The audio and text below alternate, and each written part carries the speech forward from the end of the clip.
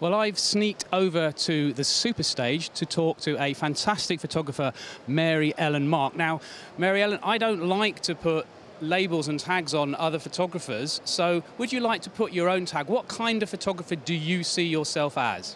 Well, I'm a documentary photographer and a portrait photographer.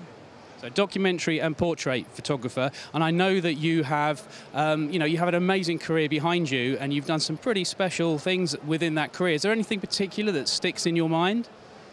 Well, it's always the next thing you're going to do that sticks in your mind. Because I, I've been very lucky. I've had a chance to do so many interesting projects. But right now, we're working on a, a film and a book about Tiny, the girl from Streetwise.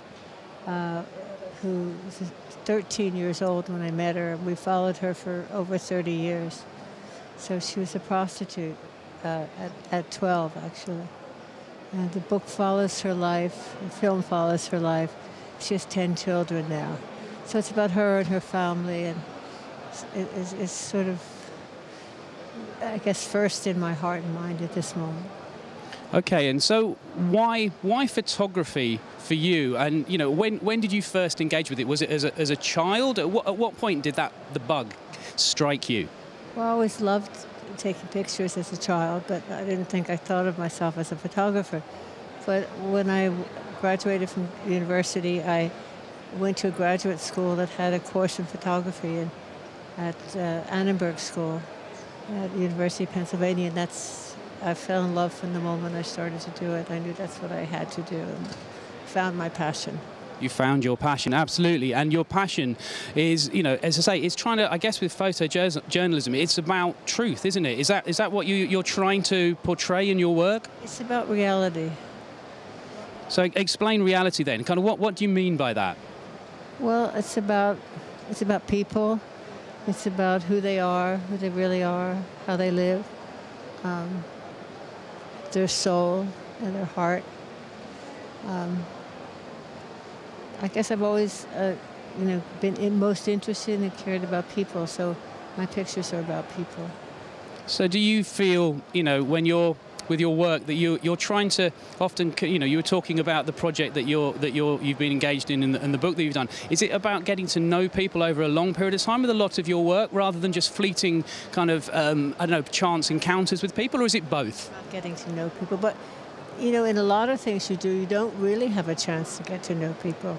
Like like when I photographed the circus, I went from many circuses and I didn't really get to know the people. You know, I got to know them for a week here and there. But with this current project uh, and film, it is someone that I do know. It's, it's interesting photographing a family and over so many years. You just kind of start your work, you're there, and then you come back and it's like you never left. No, that, that that's really interesting. Now I understand um, you, I, that you, you haven't you know you're not shooting digitally. You still you still want to and enjoy shooting with film. Is there is there any particular re reason for that? Well, first of all, I think I'm too old to change. I don't believe that for a second. Come on, Mary Ellen. But but it's a different mindset. It's a different mindset. I think it is, and I have this incredible printmaker I work with in the States, and, and he, he just recently made me these incredible beautiful prints on, on Ilford paper, actually. It's silver gelatin prints, and I just like the whole process. I like the whole process of analog. I do have, uh, you know, a couple of very good digital cameras, but I still can't leave without my Leica M6 or my, or my, uh, you know, maybe a, Mamiya 7. I still feel that I, I need to capture it in analog.